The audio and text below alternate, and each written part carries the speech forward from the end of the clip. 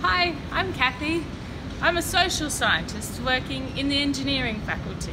I really understand those social dimensions of engineering technology, particularly in resources development and more specifically in oil and gas development. Oil and gas development is a contentious issue. There are lots of conflicting values and interests. So working in the social science and understanding the social science impacts uh, is really important. Gas development projects are met with fierce opposition right across the globe.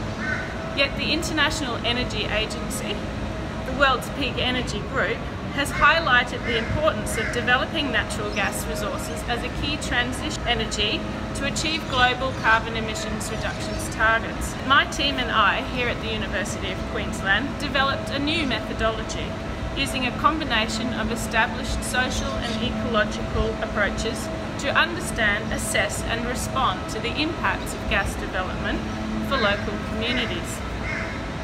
The online tool we developed is a world first that bridges the social and economic information gap, giving decision makers and regulators robust scientific information on which to make stronger decisions and change regulation to support the development of industries and the communities in which they are based. It's a novel and clever technology which pulls together complex adaptive information systems to build a real world picture of the social and economic impacts of large scale resource development on regional Queensland.